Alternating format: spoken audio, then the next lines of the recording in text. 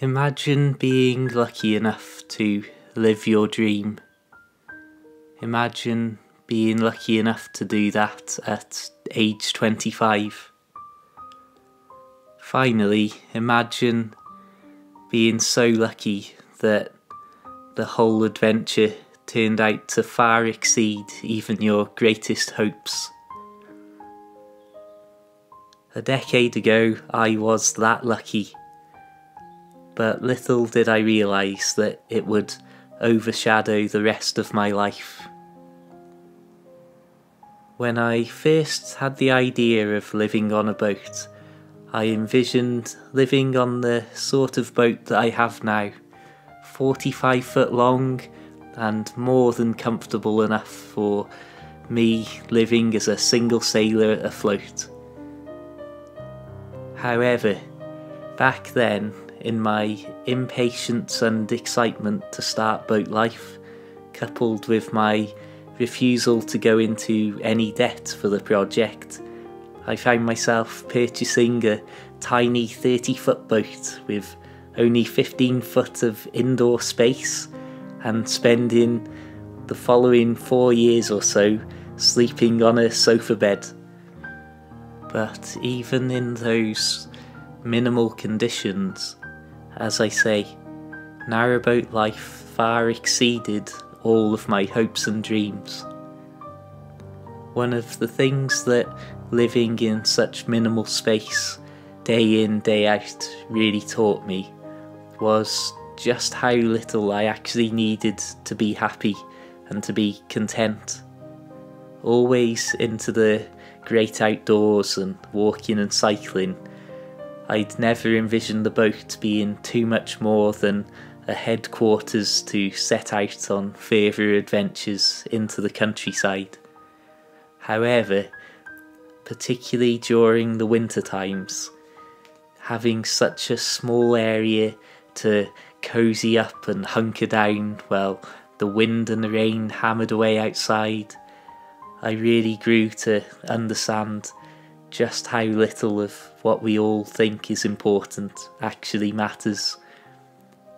As long as I had fuel for the fire, relatively consistent electricity pumping to the lights, and some kind of communication device, in this case a laptop or an iPad, which allowed me to edit my videos and also write my books I was pretty much fine. Living in such a small space also brought with it incredibly low costs. Narrowboat life is not inherently cheap, but the way that I've always lived it is exceptionally cheap when compared to the times that I've lived on dry land. And back then, my annual costs for running the boat including things like the boat licence and insurance, were coming in well below £2,000 a year, which allowed me to work only part time hours and still live in great comfort. Depending, of course, on your definition of comfort, that sofa bed certainly wouldn't suit everybody. Once again, I'd like to ask you to imagine yourself in my shoes stepping into this incredibly small world but incredibly satisfying lifestyle as a very immature 25 year old with very little real world experience of life. And then think not only is the life in and around the boat so great, but I want to show you on screen now three places that are within maybe 20 minutes walk of where I could moor up a boat. The Horseshoe Falls, Dinas Bran Castle and Tŷ Country Park. Having my humble little low cost life and being able to park that lifestyle almost next door to such incredible places and then go out and wander amongst these natural, calm, beautiful environments is something that I cannot cannot express or overstate the significance of as part of your day-to-day life. To many people this would be an unbearably lonely lifestyle, but as a lifelong loner before having a boat, it wasn't too much of a shift for me. Relationships and connections, however, were a lot more difficult to maintain at this point of my life, as myself and my peers started to head to our late 20s, living almost in different realities. So the connection and relatability of our experiences drifted and drifted, where I was seen as somewhat of a dropout with my part time hours and my wandering through the British countryside most of my time, and I'd struggle to get my head around the extraordinary way they lived, where they would spend in two months more than I would spend in a year.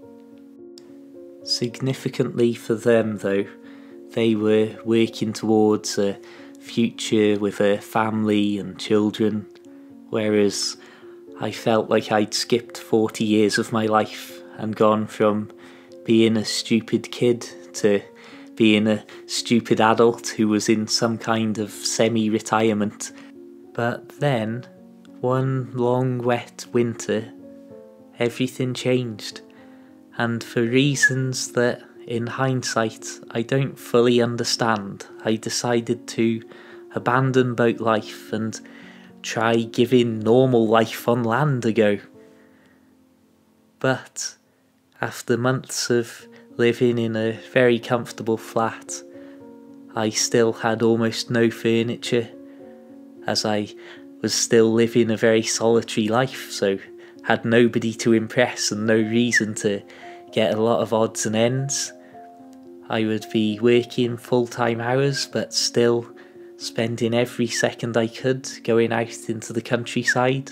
Very often, this would lead me to be heading out at 11 o'clock at night, enjoying the starlit and moonlit fields, and especially some of those beautiful, frosty, chilly winter's nights on the outskirts of a rural town.